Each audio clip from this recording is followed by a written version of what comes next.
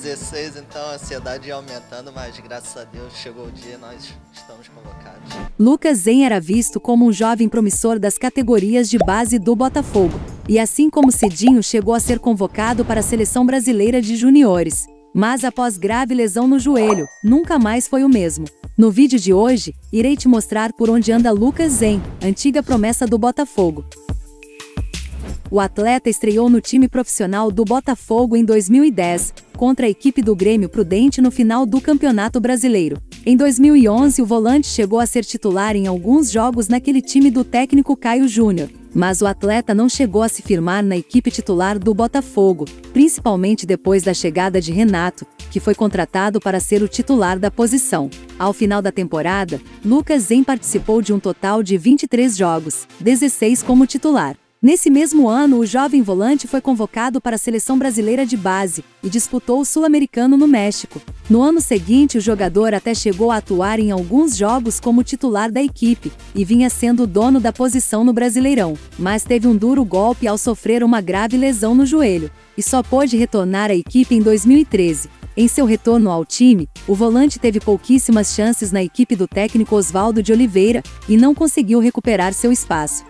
Foram 20 jogos em toda a temporada, apenas 4 como titular. Em 2014, sem espaço no Botafogo, o jogador foi emprestado ao Vitória até o fim da temporada, mas depois de atuar em apenas cinco jogos pelo clube baiano, retornou ao Glorioso após quatro meses. A partir daí, praticamente não teve mais oportunidades com a camisa do Botafogo. Inclusive foi afastado da equipe principal por não fazer parte dos planos do clube chegou a ser reintegrado ao elenco principal em algumas oportunidades, mas não chegou a receber chances de atuar de fato na equipe. No final de 2016, o contrato de Lucas Zen com o Botafogo chegou ao fim, e o atleta deixou o clube após 13 anos vestindo a camisa do Alvinegro. O jogador acertou sua ida para o Brasiliense para disputar o campeonato estadual. O objetivo do atleta era o de voltar a disputar a elite do futebol brasileiro, mas infelizmente isso ficou longe de acontecer. O jogador voltou ao Rio de Janeiro, mas dessa vez para atuar nas equipes menores. O atleta rodou por várias equipes do Rio, como Portuguesa, América e Cabo Friense, e chegou a disputar até mesmo a segunda divisão do Campeonato Carioca. Hoje o jogador está com 30 anos e atualmente joga no Madureira, que disputa a Série D do Campeonato Brasileiro. Quando perguntado se guarda alguma mágoa do Botafogo por ter sido afastado por anos, o atleta respondeu que não guarda nenhum tipo de ressentimento.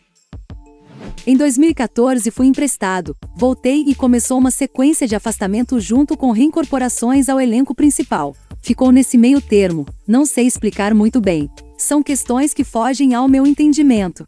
Mágoa não posso ter de jeito nenhum do Botafogo. Se eu tenho um nome no futebol hoje, é tudo graças ao Botafogo. Nos últimos anos de contrato talvez não tenha sido da maneira que nenhum jogador imagina, mas entendo que é do futebol.